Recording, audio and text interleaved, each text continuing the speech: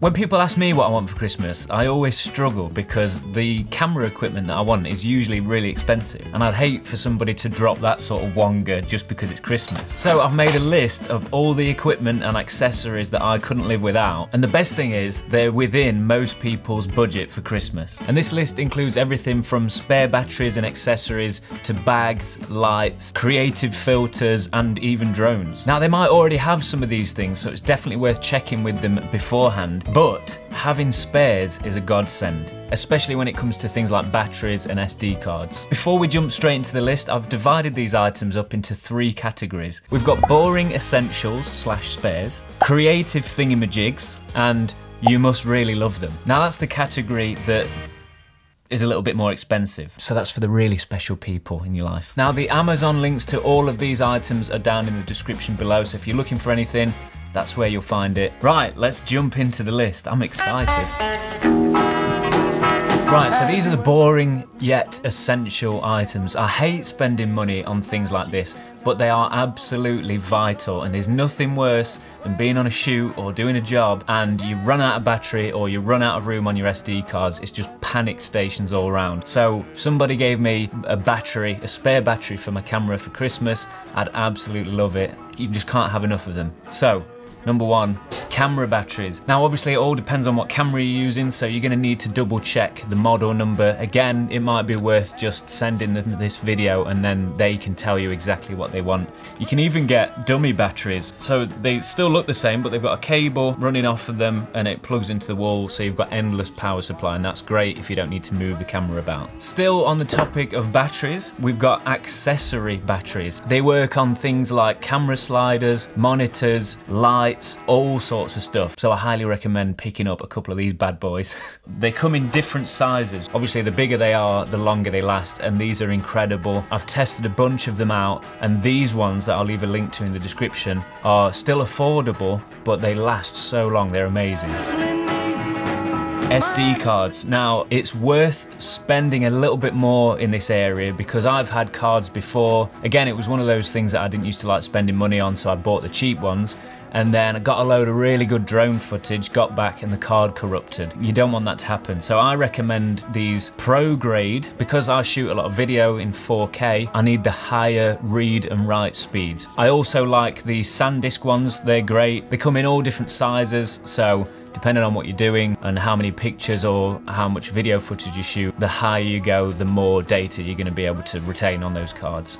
We're getting a little bit more excited now. I've got this multi-tool by SmallRig, a really good brand. This is just great because it's got loads of different tools in it. You've got screwdrivers, Allen keys, star keys on there, and also this little flathead thing, which is perfect for the tripod mounting plate, thumb screws underneath ideal, love this. I pretty much got that out all the time because I'm constantly switching. But having this little tool, all in one tool, in your bag at all times or on your desk, in your drawer, whatever, is a lifesaver. Well within budget. This is a fun one. I don't know what I don't know what they're called. I think air blaster or air duster, air blower, something like that. And basically, so you can wipe your lenses, but that sometimes they can leave a little bit of dust. So what you do is just hold it upside down and then you blow the air onto it and that gets rid of any remaining particles. You can also clean your sensor with these like that. Again, hold it upside down and just give it a blast. One of those things that I never had, but now that I've got it, I won't be able to live without. I use it all the time couple more spare items, especially for videographers. HDMI cables. Now my camera takes the stupid micro HDMI adapter. They have a tendency to snap sometimes, so you've got to be very careful. But that's why I like having spare ones of these. As you can see, I've got a bunch of them.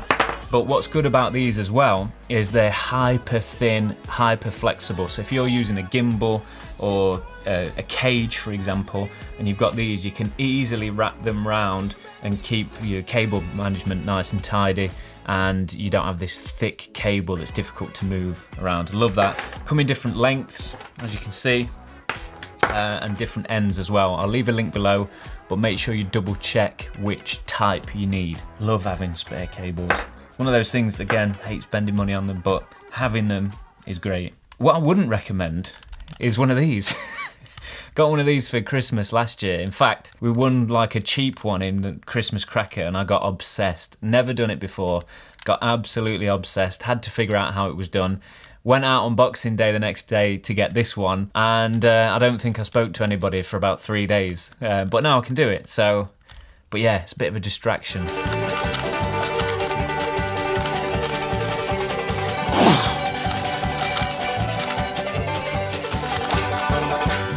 There we are, done. See what I mean? Don't get one of those. I'm meant to be filming a video and I'm just sat there spending a couple of minutes doing this instead. Moving on. Right, next category. This is the exciting stuff now. Creative thingamajigs. Start with this one. Gobe or Gobe or Gobi. Do some great stuff and you don't have to package this one because look, it comes in this cool little tube thing and a little sack. But yeah, for every purchase made with Gobe, they'll plant trees. So I like that. Any company that look after or is at least conscious of the environment, I like that. They are called star filters and they come in different types, four, six and eight. When you put these over your lens, you just screw them on. Basically what it does is when there's a light source in the frame, it turns it into a little star. So look at that. And the good thing about these is you can actually rotate the element and have the star facing where whichever way you like. So look at that. Love these things. It's one of my favourite effects.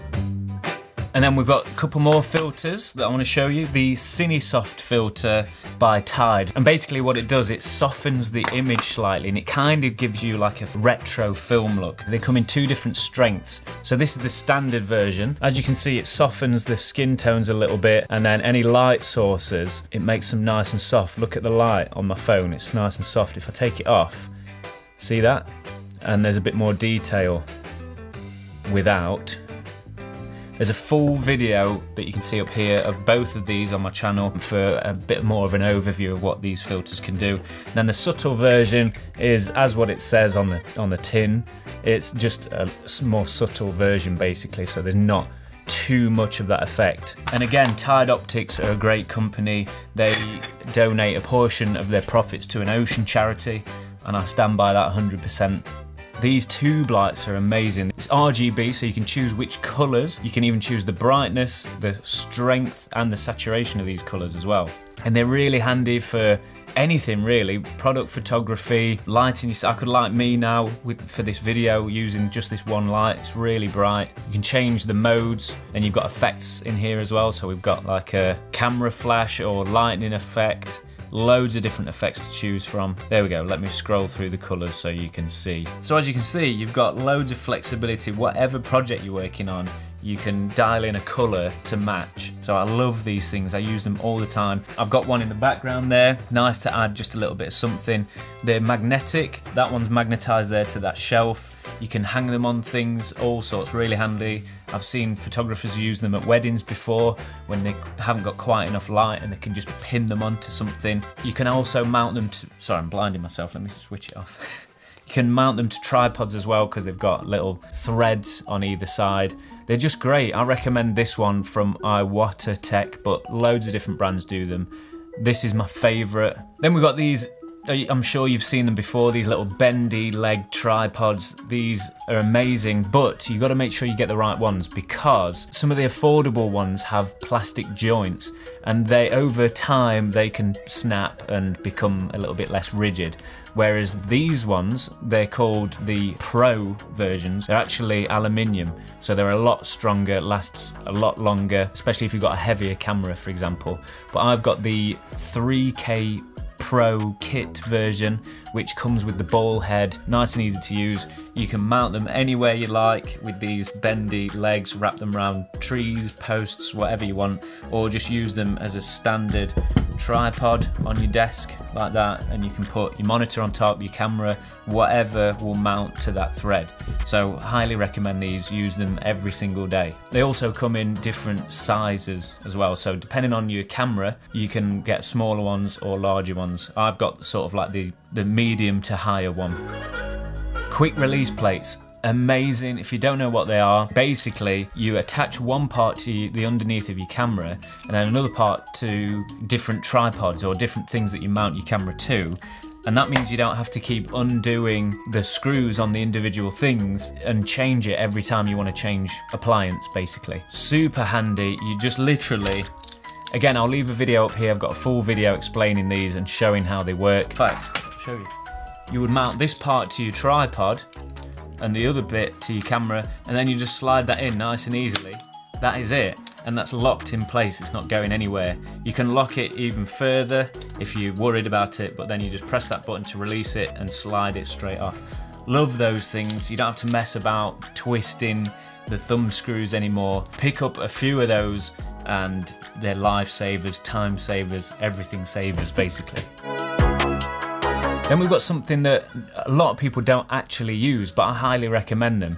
They are a little bit on the pricier side, which is why I've left it a little bit later on in the list but definitely worth picking up. It's called the ColorChecker Passport Video. You can get photo versions of these, but to be honest, this one is great. You can basically check your exposure, your white balance and make sure your colours are spot on in camera either before you start filming or you can correct your colours after.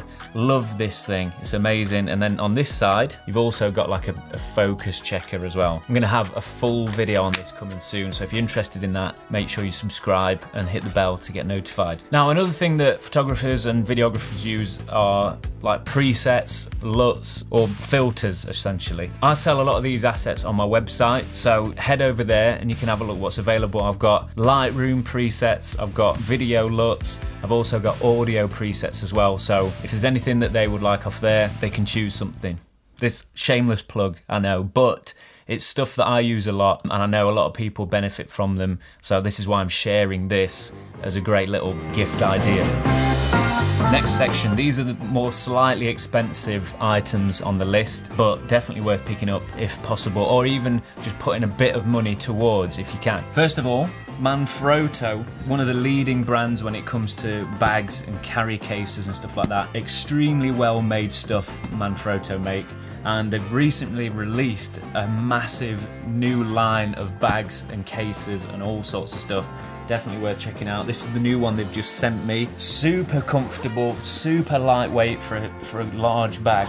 Come in different sizes and different versions, so it's definitely worth checking out what they've got on the website. Look at all that compartment space. I've taken out some of the dividers actually, they're over there. But you can customize this however you like. So if you want three camera bodies in there or a drone lenses, you can make it however you want. It's got a compartment for laptop and filters in there all sorts. You can access the camera or your stuff from this top bit as well. It's just great. It's amazing. Plenty of compartments. So whatever you need to fit, it'll take with you on a trip. It's guaranteed it's to go in this bag. Now this next one, I'm actually using it right now. It's called the Godox ML60 Lite. It's super lightweight and it's great for weddings or location shoots because you can actually power it by either the mains or these batteries like I talked about before. And because of the size, it's super compact. You can take it anywhere with you and I've got it set up just on this desk because it's really lightweight. It's perfect for, for that. This is more of a videography tool, but not to say photographers can't use them as well. An external monitor. Now this is the Atomos Ninja 5 but if you want a slightly cheaper version, I've got the Shinobi that I'm using right here. Full video about both of these and the differences between them. I'll link it up here. Definitely worth checking out. They're incredible tools. One of the leading brands when it comes to monitors. So many features, really high quality stuff. And the benefit to an external monitor is basically you, you can see what you're capturing on a larger screen rather than these tiny little LCD screens on the back of your camera. And they can be quite difficult to see see, especially on a, on a bright day if you're filming outside. Last but not least, drones. Now I've got the DJI Mavic 3 here, which is pretty much almost like the top spec one on the market at the moment, brand new. But if you if you don't want to spend that much on it, there's a I've recently released a video on the Mavic Mini 2, which I think is the perfect drone for YouTube or beginners, just because of the size and weight, the ease of use, and the picture quality is absolutely fine, especially for a beginner. In fact, it's really good. So I hope this list and this video has helped you, give you some ideas. Again, just double check with them, make sure you're getting the right items for them, because we don't want you getting the wrong things. Check all the brands, the types, the the sizes, lengths, shapes, and all that with them. Maybe send them this video and they can choose them themselves and send you the links to the things they want. But if you do have any questions, let me know in the comments below and I'll do my best to get back to you as soon as possible before Christmas to give you plenty of time to get the right things. In the meantime, don't forget to subscribe to the channel for more gear reviews, tutorials, and all that sort of good stuff. Thanks so much for watching and have a great Christmas and Happy New Year.